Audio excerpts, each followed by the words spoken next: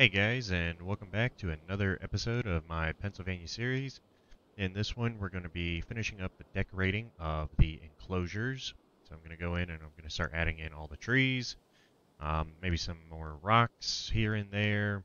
Probably not that many rocks, because a lot of these already have a ton of rocks.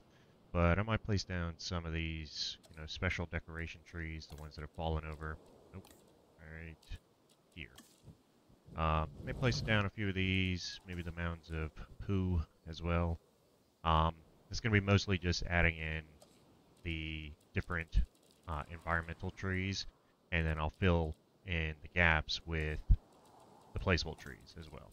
You know, I like doing a, a nice combination where possible. Uh, when I'm able to use the brush, I do like to use the brush, uh, but sometimes you just can't get enough with the brush. So uh, I'll fill in the gaps with the placeable trees. Um, and then that'll pretty much be it. Then the last step will just be adding in our first set of dinosaurs, which will be in the next episode. So uh, that's going to be it. I hope you guys enjoyed this time lapse, and I'll catch you in the next one. Thanks.